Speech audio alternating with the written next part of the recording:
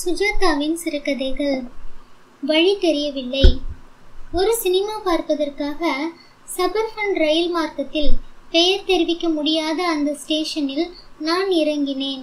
படம் நான் சென்னையில் தப்பவிட்ட படம். ஊரெல்லாம் சளைக்காமல் ஓடி ஓய்ந்துவிட்டு முகசலில் ஓடிக்கொண்டிருந்தது. நல்ல படம் என்று நண்பர்கள் வற்புறுத்தி பார்க்க சொன்னார்கள். அதை துரத்தி கொண்டு அந்த ரயில் நிலையத்தில் மாலை இறங்கினேன். பெயர் சொல்ல மாட்டேன்.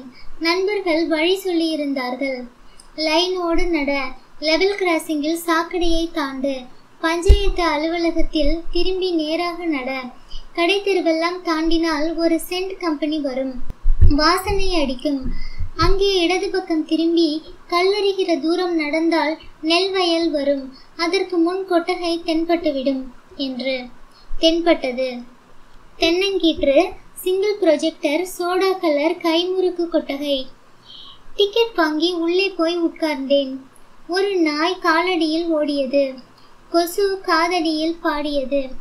காஞ்சனா ஈஸ்ட்மென்ட் கலரில் சிரித்தார். ஆனால் இந்த கதை அந்த சினிமாவை பற்றியது அல்லவே.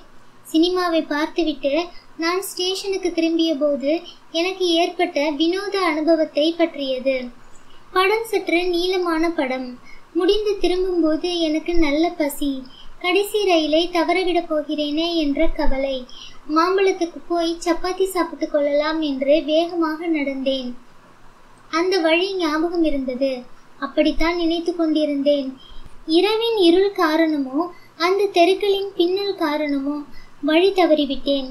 போகிறேன் போகிறேன் ஸ்டேஷனையே காணோம். நான் கவலைப்பட ஆரம்பித்தேன். ஏதோ ஒரு கடை தெருவுக்கு வந்துவிட்டேன். அது நான் மாலையில் நடந்த கடைத்தெரு போல இல்லை. அப்போதுதான் நான் தனியாக இலக்கில்லாமல் நடந்து கொண்டிருப்பதை உணர்ந்தேன். கடைகள் மூடியிருந்தன. ஓட்டல்களில் நாற்காலிகள் மேஜை மேல் கவிழ்ந்திருந்தன. வெளியே பலர் தூங்கிக் கொண்டு இருந்தனர். வழி கேட்பதற்கு எங்கும் தென்படவில்லை. தனியாக வந்தது தப்பு. என் நடை தயங்கியது. சற்று வியர்த்தது. நல்ல வேளை. எதிரில் ஒரு சைக்கிள் ரிக்ஷாக்காரன் தென்பட்டான். அவன் தூரத்தில் இருந்து சாலையின் சரிவில் இயல்பாக பெடல் செய்யாமல் ஒரு சினிமா பாட்டு பாடிக்கொண்டு வருவது தெரிந்தது.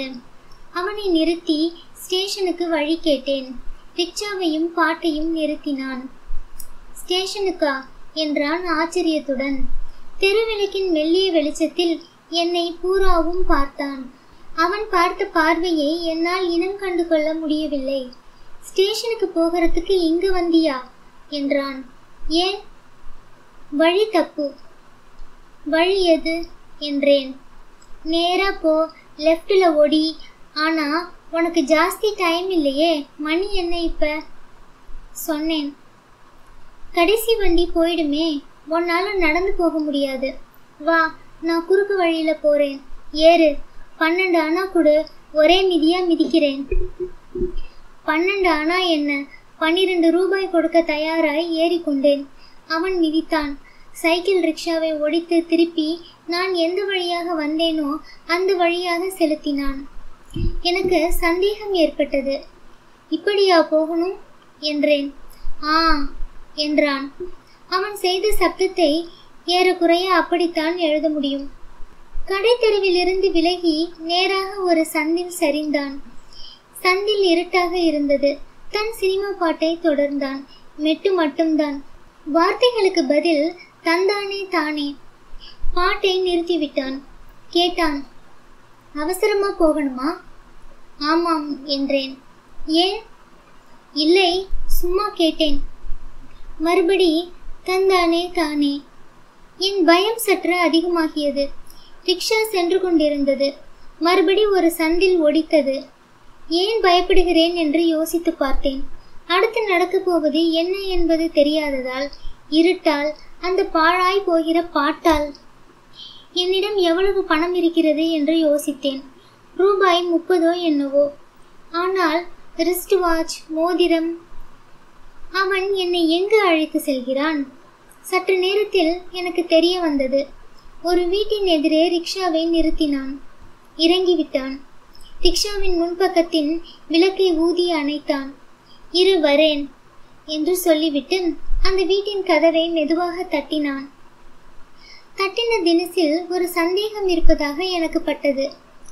அவன் மெதுவாக சொர்ணம் என்று கூப்பிட்டது கேட்டது.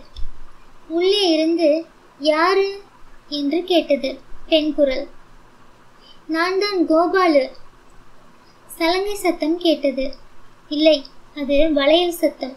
கண்ணாடி வளையல்கள். கதவு திறந்தது. எண்ணெய் போடாத கதவு. கையில் அறிக்கையின் விளக்குடன் அந்த பெண் நின்று கொண்டிருந்தாள். சுமார் இருபது வயதிருக்கும். பெரிய வட்டமாக கருப்பில் பொட்டு தூக்கத்தில் கலைந்த உடை. வந்துட்டியா? நான் ரொம்ப என்னை பார்த்து விட்டாள். அவள் குரலை உடனே தாழ்த்தி கொண்டாள். என்னவோ? அவனை கேட்டாள். கதவு பாதி திறந்திருந்தது. அவள் என்னிடம் வாங்க என்றாள். என்னப்பா என்றேன். சைக்கிள் ரிக்ஷாவில் உட்கார்ந்திருந்த நான். எனக்கு வேறு வார்த்தை கிடைக்கவில்லை. தொண்டை அடைத்திருந்தது. சும்மா போ அட என்றான். அந்த ரிக்ஷாவில் நான் ஏறிக்கொண்டதிலிருந்து நடந்த சம்பவங்கள் எல்லாவற்றிலும் ஏன் அதற்கு முன் நான் சினிமா பார்க்க தனியாக வந்ததில் கூட ஏதோ ஒரு தவிர்க்க முடியாத தனிமை இருந்ததாக எனக்கு பட்டது. என்னதான் நடக்கப் போகிறது? பார்த்து விடலாமே என்று நான் துணிந்திருக்கலாம். நான் அவள் பின் அந்த வீட்டிற்குள் சென்றேன். அந்த பாதி திறந்த கதவை கடந்ததும் உள்ளே நீண்ட வழிநடை தென்பட்டது. அதன் இறுதியில் இருந்த கதவை நோக்கி அவள் சென்றாள். கதவை அடைந்து அதை திறக்காமல் எனக்காக காத்திருந்தாள் அவள். நான் சற்று தூரத்தில் தயங்கினேன். வாங்க என்றால் பொறுமை இல்லாமல் சென்றேன். நான் வரும் வரை காத்திருந்து வந்ததும் சரையில் என்று அந்த கதவை திறந்தாள். என் மேல் குளிர்ந்த காற்று வீசியது. அதோ பார் அதான் ஸ்டேஷன் போ என்றாள். இத்துடன் சுஜாதாவின் சிறுகதை வழி தெரியவில்லை நிறைவடைந்தது.